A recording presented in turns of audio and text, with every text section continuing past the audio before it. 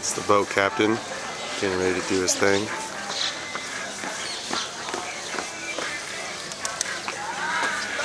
Wow.